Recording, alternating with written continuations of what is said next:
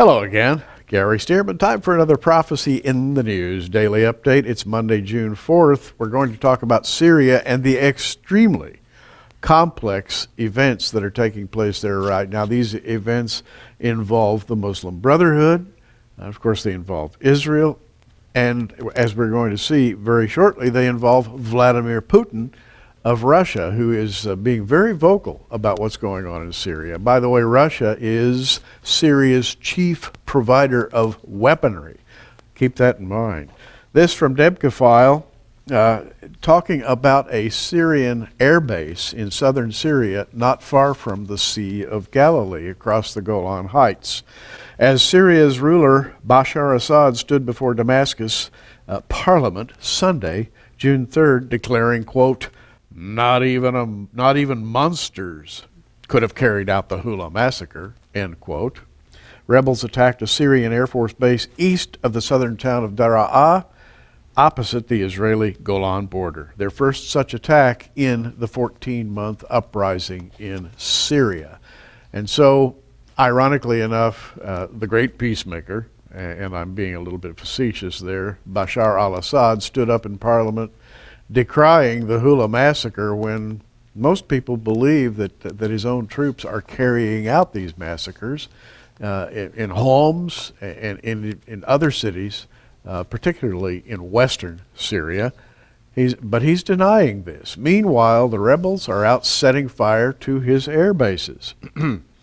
uh, the air base they attacked according to Debka File, is Syria's southernmost air facility. It's positioned to be available for backing up Syrian units posted on the Golan border, opposite Israeli forces. The 5th, 7th, and 10th divisions of the Syrian army would be backed up by the Air Force operating out of this air base, which is no longer there, so which will certainly change uh, Syria's military plans.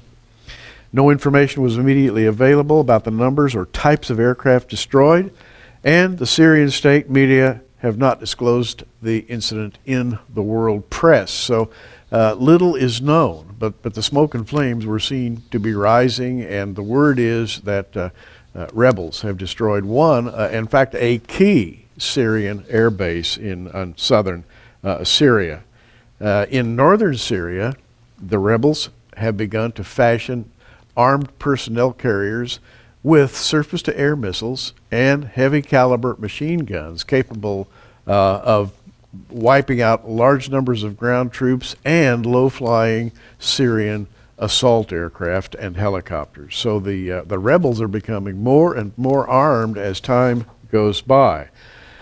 Meanwhile, Vladimir Putin uh, in Germany uh, is making very large noises. Remember, Vladimir Putin, the Russians are the chief suppliers of arms and other war material to Bashar al Assad. And so there's a very tight link between uh, Assad and Vladimir Putin.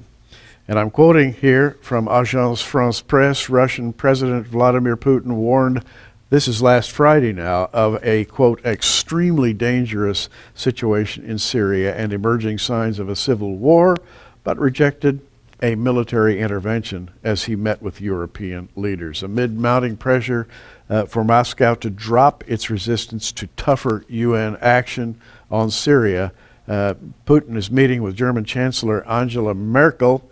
Uh, he had arrived in Paris for talks also with France's new uh, leftist president, actually, I should say communist president, uh, who happens to be named Francois Hollande. Now, uh, we have shifting developments in Europe.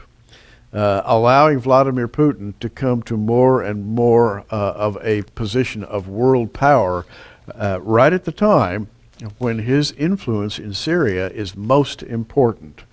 Putin said, quote, as far as arms supplies are concerned, Russia does not supply the weapons that could be used in a civil conflict. He lied. What can I say? it's been well known for years that Russia is the chief supplier of arms to Syria, but Putin um, committed a bald faced perjury here by saying, no, no, no, we don't give weapons to the Syrians that could be used in a civil conflict. In other words, our weapons did not mow down uh, civilians in the streets of Syria. He says, as far as arms supplies are concerned, Russia does not supply those kinds of weapons. And the interesting thing that's developing here, and this is the most interesting thing of all in this conflict, is that Turkey has now done a complete about face and dropped its support for the Syrian rebels. Two radical developments arising from the Syrian conflict are revealed here. In an astonishing about face, writes Debka File, Syria has turned away from its 14 month support for the anti Assad revolt alongside the West and made common cause with Russia. In other words, with Bashar Assad. So, to make this very simple, we now have Turkey, Russia, and President Bashar al Assad of Syria tightly aligned. They are no longer uh, moving against each other, moving independently. They have now locked together as one force. Get that again. That's Russia, Syria, and Turkey have locked together.